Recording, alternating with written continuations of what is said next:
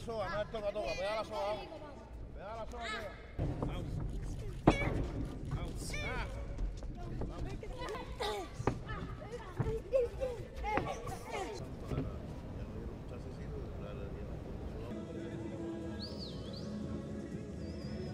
Creo que si el proceso no a los Juegos Olímpicos sería un, un gol- un golpe muy fuerte para, para la delegación cubana que no pueda contar con los títulos del proceso cubano. El proceso en Cuba ha sido eh, victoriosamente y agradablemente ha sido el que más medallas le ha aportado al medallero olímpico cubano en, en.